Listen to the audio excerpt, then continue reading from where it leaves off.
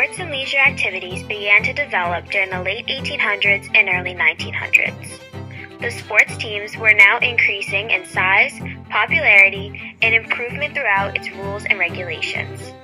Baseball, football, and basketball came into play as entertainment to the people. It also became a new fun place for the people to be able to support their town. As the lifestyle of the people began to change, advanced leisure activities started to establish.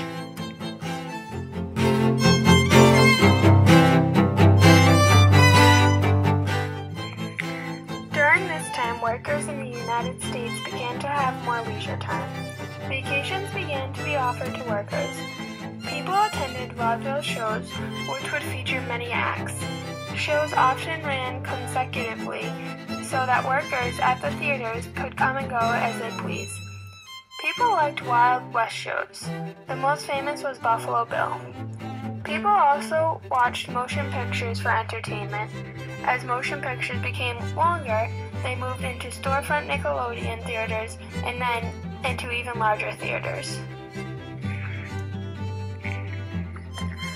Outdoor activity remained popular as people attended county fairs and celebratory parades. The fairs featured agricultural products, machinery competitions, and rides.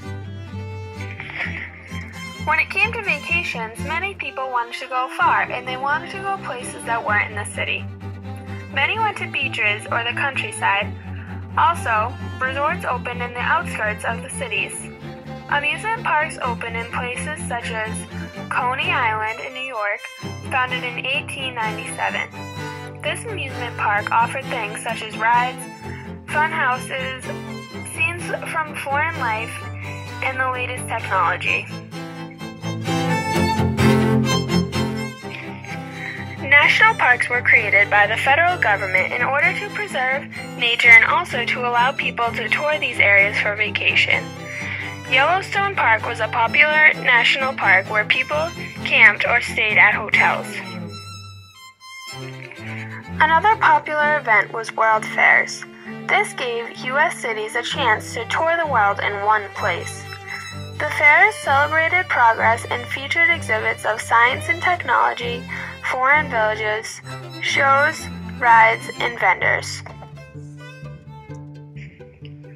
Leisure activities grew as people began to see the importance of exercise and health. At first, only the wealthy could partake in sporting events.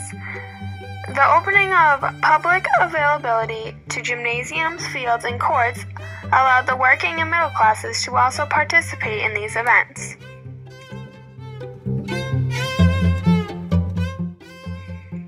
Another major thing that people did for fun is roller skate. The improvements of the roller skates made the trend become popular again during the turn of the century. It was very fashionable for the middle class and also for women to wear rollerblades.